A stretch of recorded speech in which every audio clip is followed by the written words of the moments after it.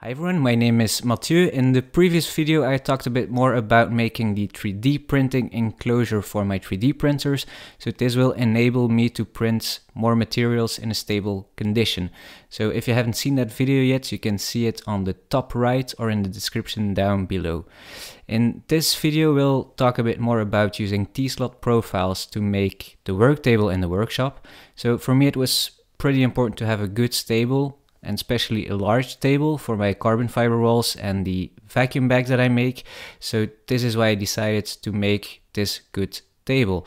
If interested in all these projects, there will be another video coming later on uh, talking a bit more about my uh, desk. So I've made a floating desk using uh, Mortex, Beton Ciré or polished concrete to finish the tabletop. So that will be in the next video.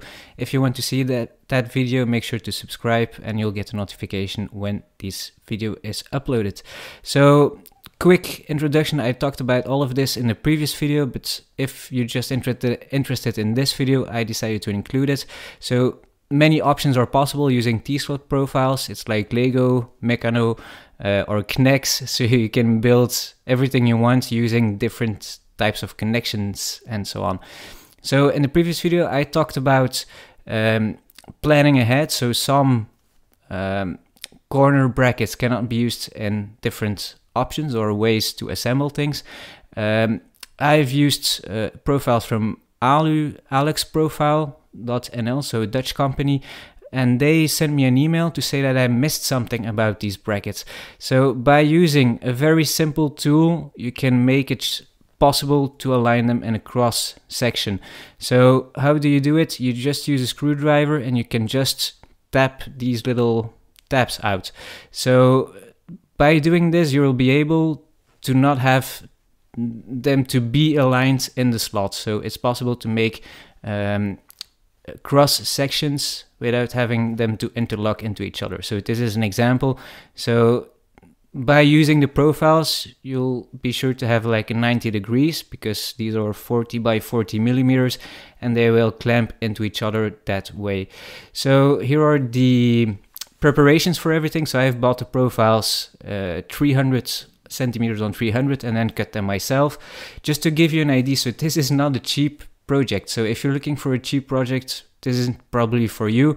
If you're looking for um, quality and like a very sustainable and durable table, uh, this is for me like a good way to make tables and like things that has to be strong and especially be modular. So it's possible that in two years I'll say I want a table of four meters long. I can just adjust a few profiles and make it like a different table. So about the entire assembly, I'm not going in too much details, so you can see like the workflow. So I've made the base, then these are the shelves. So it's in three ways. So I have the bottom plate, a shelf plate, and the top plate of the table. And like bottom and top are similar, and then there's this the shelves in between. So I can adjust the shelves as well. So if later on I want to have a different height in shelves, that's possible. So for the wheels, um, I've just bought them in the local hardware store. So just good wheels. Um, I've added five, so one in the middle and four in the corners. At the end, I added two more wheels in the middle of the table, just because I had some um, profiles hanging a bit too much. So now it's good with seven wheels under it. So for the painting, I decided to use a good paint. So this is for uh, from a company here in Belgium. It's not far from where my workshop is. And it's a very good paint. So it's um, polyurethane paint. So the good thing it's two component and it's resistant against chemicals and so on because you never know if I have some acetone using for my projects I don't want to have like spots on the table from the paint um, dissolving. So this is a good paint solution for everything that has to be industrial grade. So I use this on all metalwork that I do, like tables that I did in the past against rust and so on. So first time I tried it on wood and it works well. So it's very easy to paint. You can lay it in a thick layer. I didn't even use a primer here. So I've applied three coats on top layer and just two layers of paint for the shelf and the bottom because these won't be that visual. So here is a result after painting all three of them with one layer. So I, st I still have some marks, but you just learn along the way um, using the paint and then you'll see the day after I was able to apply the second coat and results get better and better. So it's how much time do you want to put into it? So it's the more layers the better it will look. Uh, for me it's still a working table so it's not that important. But if you're looking for good results you can sand it in between as well. So a trick i found is for the brush marks so the, the brush strokes that i had i've just used a longer uh, steel on the roller and then I could get better results.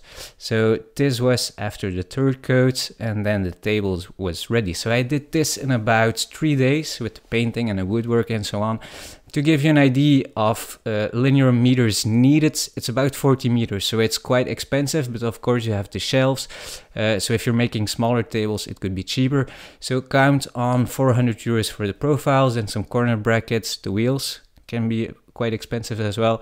And the wood nowadays is very expensive as well. So it's not a cheap table. I think it's around 800 euros total. Um, but if you're interested in all these projects uh, the next video will be about my floating desk. That might be interesting as well with some more focus on uh, Mortex or beton ciré or polished concrete finish.